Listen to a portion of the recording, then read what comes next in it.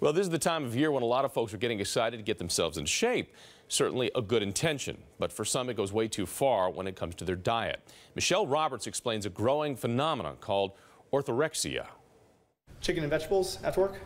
Mm-hmm. Okay, good. Yeah. What his clients eat Okay, or let's go, let's go. is just as important to personal trainer Bron Volney as their workout. You got to have a healthy diet. Are you looking for warning signs of people who are going too extreme? Yeah, and if they're dropping really fast, you got to question and say, hey, you know, let's make sure you're you're staying healthy. Staying healthy means a balanced diet, but a growing number of people are eliminating entire food groups, seeing only negative qualities in things like dairy, eggs, meats, grains, and fats. All gone until there's nothing left but fruits and vegetables.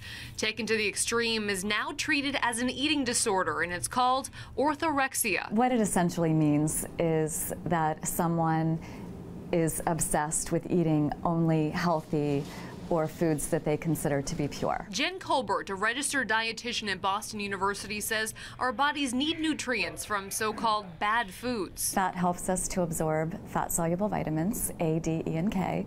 Um, it also helps us to absorb um, all of the phytochemicals that are in fruits and vegetables. Whole grains have been shown to be heart healthy. Dairy is a great source of protein and a great source of calcium and vitamin D. So-called orthorexics start with a good motive, eat right and stay in shape, but their actions could have the opposite effect. So at first I was really extreme about it. Caitlin Byrne works with Bron, and we do mean work. You get a burn? To achieve a balanced approach to exercising and to eating. It's hard because you have to, you just kind of have to train yourself to eat well. It's not, it was hard for me. Goal of perfection almost. Mm-hmm. Mm-hmm. And it's not a, not a reality? No, absolutely not. it's not fun. It can be dangerous if you're going too far with it.